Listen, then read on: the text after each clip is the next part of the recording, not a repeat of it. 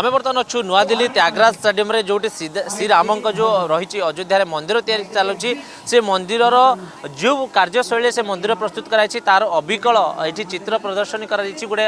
ମନ୍ଦିରର ରିପ୍ଲିକା ତିଆରି କରାଯାଇଛି ସେଠାରେ ଆସନ୍ତାକାଲି এইটি দিওয়ালি কার্যক্রম রয়েছে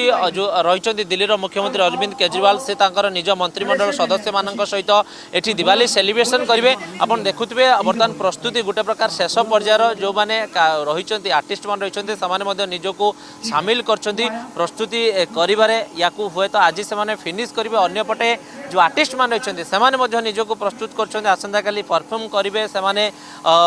दिवाली उत्सव रामचंद्र जो आसी अयोध्या को बनवास सारिकी सी दिन जो माहौल था गोटे प्रकार से चित्रित करेंगे तेणु अंपटे देखिए ये जो राम भव्य मंदिर जो रही तार जो रिप्लिकाटे याकू नहीं कि गोटे पॉलिटिकल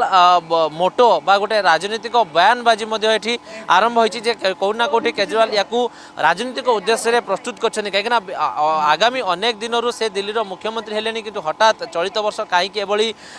ରାମଙ୍କ କଥା ତାଙ୍କର ମନେ ପଡ଼ିଲା ଯେହେତୁ ଆଗକୁ ଉତ୍ତରପ୍ରଦେଶରେ ନିର୍ବାଚନ ରହିଛି ହୁଏତ ତାକୁ ଆଖି ଆଗ ରଖିକି ଏଭଳି ପ୍ରସ୍ତୁତ କରାଯାଇଛି ବୋଲି ବିରୋଧୀ କ୍ୱେଶ୍ଚନ୍ କରୁଛନ୍ତି ତ ନିଶ୍ଚିତ ଭାବେ ତାର ଜବାବ ମଧ୍ୟ ଆମ୍ ଆଦମୀ ପାର୍ଟି ରଖିବେ କିନ୍ତୁ ଆସନ୍ତାକାଲି ଆପଣ ଦେଖୁଥିବେ ଭବ୍ୟ ପ୍ରସ୍ତୁତ ହୋଇଛି ଦିଲ୍ଲୀରେ ପାଖାପାଖି ଚାରି କୋଟି ଟଙ୍କା ଏଥିରେ ଖର୍ଚ୍ଚ କରାଯାଇଛି ତିରିଶ ଫୁଟ ହାଇଟ୍ ରହିଛି ଯଦି ମନ୍ଦିରର ଉଚ୍ଚତା ଦେଖିବେ যে রেপ্লিকার উচ্চতা দেখবে তেমন পাখাপাখি তিরিশ ফুট হাইট রয়েছে এবং অশী ফুট ইয়ার